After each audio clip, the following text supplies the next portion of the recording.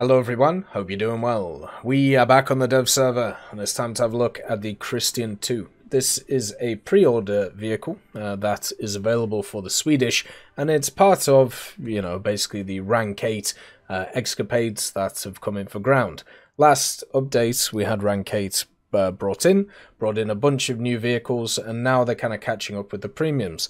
So the Christian 2 alongside the Centauro and also the Type 90 are just pre-orders which are new rank 7s that people can play to be able to get access to the top stuff. So what is the Christian 2? Well, it is slightly unique, but not really when it comes to the game. Um, it is a Leopard 2A4.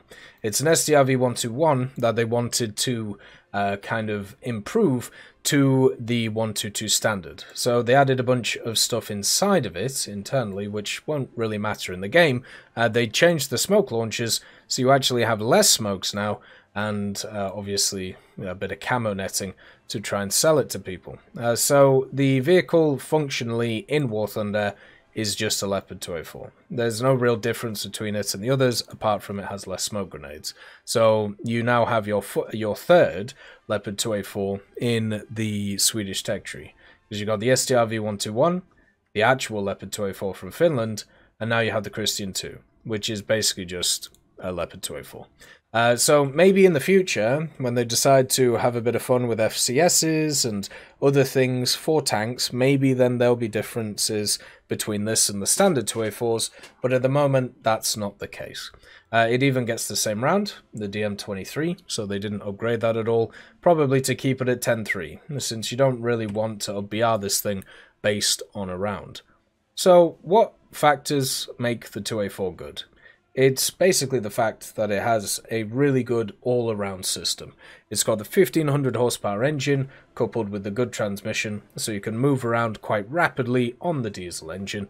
It has pretty good armor in the front of it too, uh, with the uh, massive amount in the turret, and also a decent cover in the uh, kind of hull as well has a bit of armor on the sides too, uh, just to give it a bit of extra protection. Has a blowout panel in the back, so if your ammo gets hit, you usually can survive. And also the crew is placed in pretty defensible positions too. It has a crew of four, the driver, the loader, the commander, and also the gunner, which uh, is pretty standard across the way. I would say that the 2A4 is, well, very much the bog standard for Western MBTs, and it does everything well. You know, it has the good gun depression. The reload rate isn't as good as some of the other vehicles around the place, but it's still fine. Has very good targeting speed.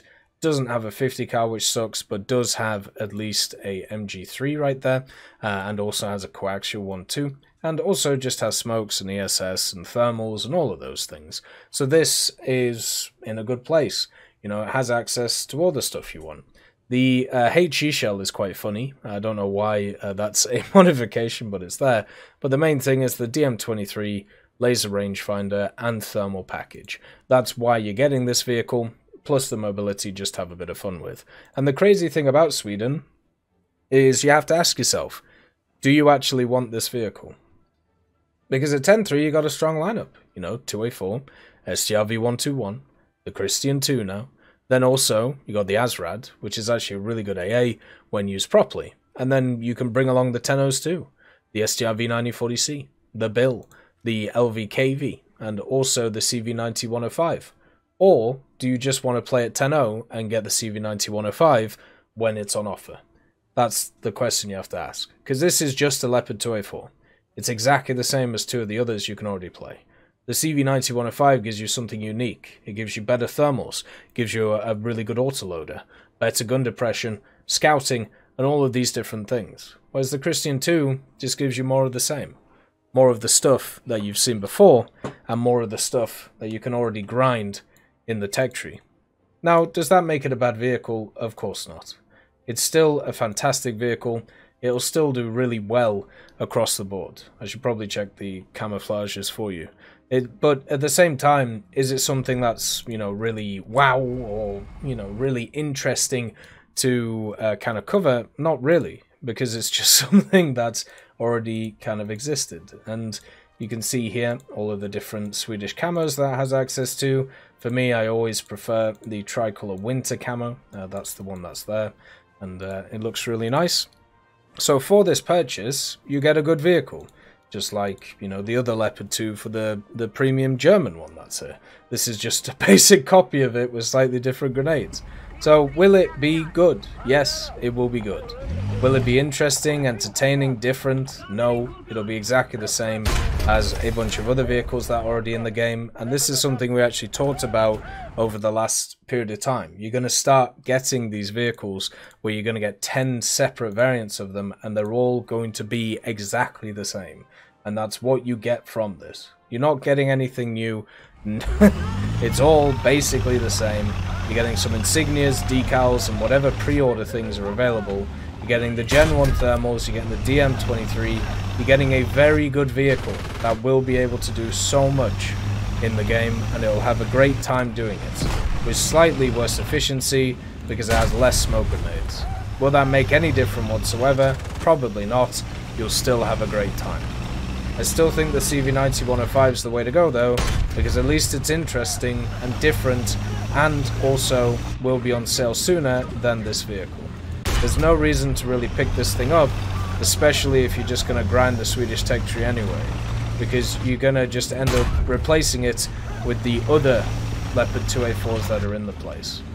Hopefully in the future we can get a few more unique things uh, for the Swedish and I'm sure they will at the higher echelons, but at least right now, this is kind of dull. This would be probably the, well, I don't know, maybe the 10th to Leopard 2 that I will have played. Probably even more than that. It's crazy how many are in the game right now. As always though, hope you have a wonderful day. And I'll see you next time.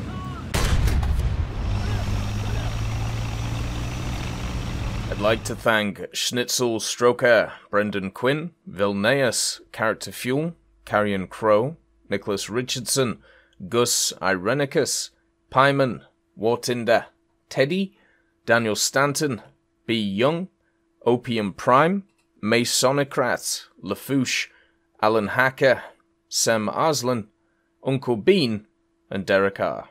for supporting the channel.